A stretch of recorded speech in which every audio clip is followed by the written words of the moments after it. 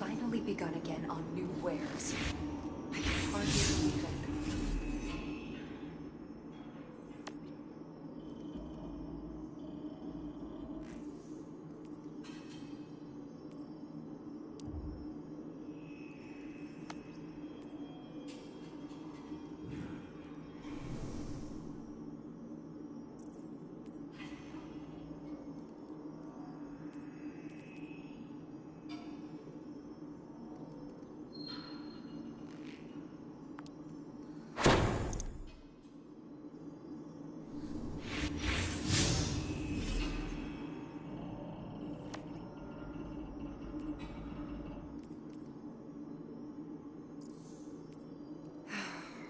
So many guardians. Still gets to me sometimes.